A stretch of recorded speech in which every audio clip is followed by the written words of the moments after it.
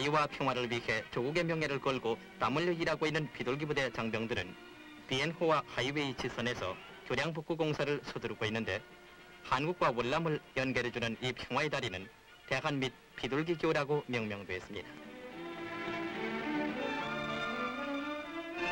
이와 같이 월남 전선에서 분투하는 비둘기 부대 장병을 위로하기 위해서 박정희 대통령은 청와대 총무비서 고재일 씨를 현지에 파견, 많은 위문품을 전달해서 장병들을 기쁘게 해주었습니다.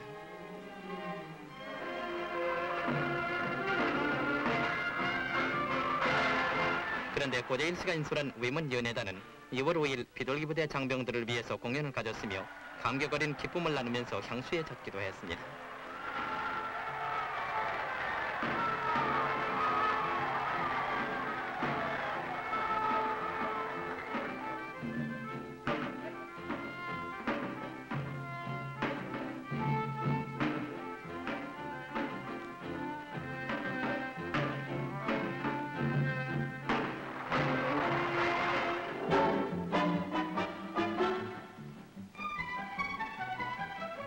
그런데 믿음직하고 튼튼한 우리 비둘기 부대 장병들은 충분한 영양과 철저한 위생 관리 아래 한미월 공동 협조로 맡은 바 임무 수행에 만전을 기하고 있습니다.